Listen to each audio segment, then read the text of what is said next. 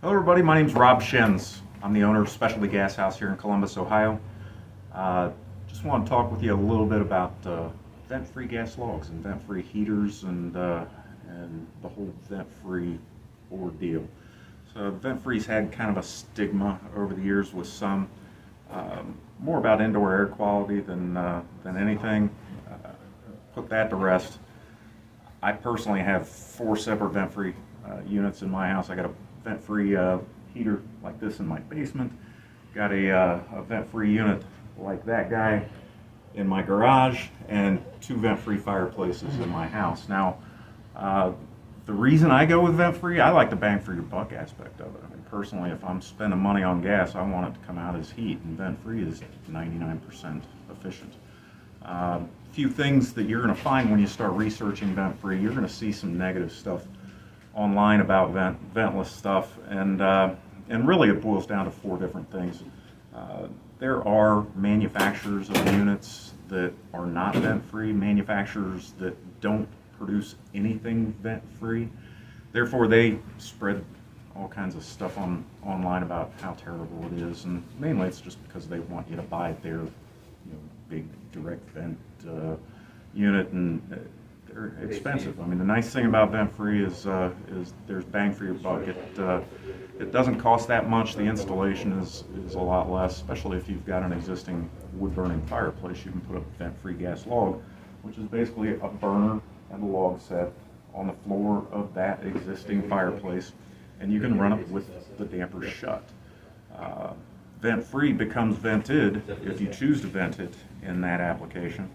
Uh, so literally you're opening the damper and allowing the heat to escape. So you can enjoy a vent-free fireplace without getting the heat into the room if you so choose. So uh, you know, vent-free becomes vented if you choose to vent it. So uh, the other thing, you know, so the four things I was talking about, you know, manufacturers of, of vented stuff, direct vents especially, they don't want you to have vent-free, so they say bad things about it online that's going to cause people to, you know, to maybe think twice about doing something vent-free. Uh, the other thing, second thing, four things that uh, cause people to say bad things about vent-free. Uh, second is people buy junk.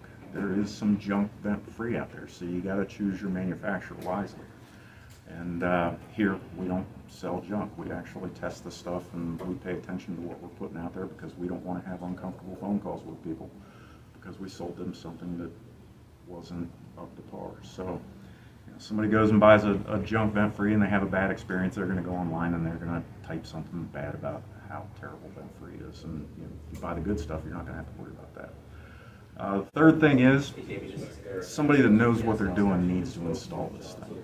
This is an appliance that uses the air we breathe, vents to the air we breathe. Somebody that knows what they're doing needs to install it properly. If they have a bad experience with a, a terrible installer and they get a, a ventless system put in and, and, and it doesn't work up to their expectations, they're going to go online, they're going to type something bad about how terrible vent-free is. Uh, the fourth thing, and what I think is the most important thing, is vent-free requires maintenance. It's not an option. Again, this is an appliance that uses the air we breathe, vents to the air we breathe when the damper's shut.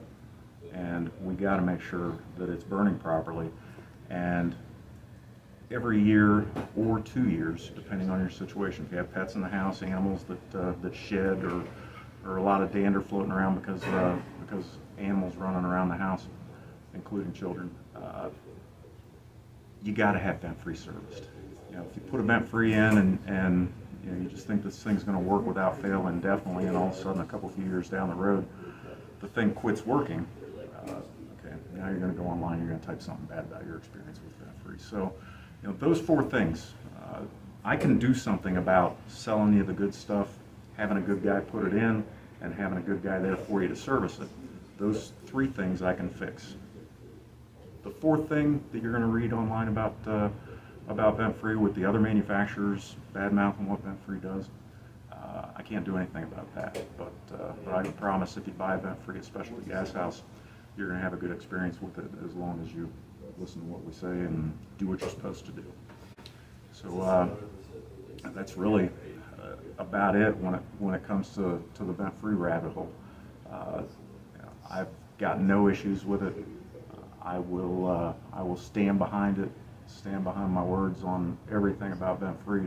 Know that if you do do vent free and and you use it often, you're actually going to see your gas usage go down because the more we use vent free, the less the furnace is going to fire because the thermostat's going to be happy and it's not going to call for that furnace to fire up. So there's bang for your buck there. You're uh, you're actually going to see your energy bills go down. Uh, the challenge with vent free really just becomes heat management more than anything. You know, heat pipes, it's all up here close to the ceiling. How do we get it down from the ceiling to, to the areas where we're spending our time? You know, running a, a ceiling fan on a low speed in reverse like we do during the winter to disrupt that air up close to the ceiling and bring it down. Uh, the other way is to turn your furnace fan from the auto position, turn it to the on position. Now the cold air returns are going to capture the heat that the fireplace is making. It's going to drag it down to the furnace, filter it, and send it out through all the vents throughout the house. So uh, it's some really neat ways that you can move that heat around if, if you play with it a little bit. But uh, that's about all I got to say about vent free. Good luck to you this guy this year. Stay warm.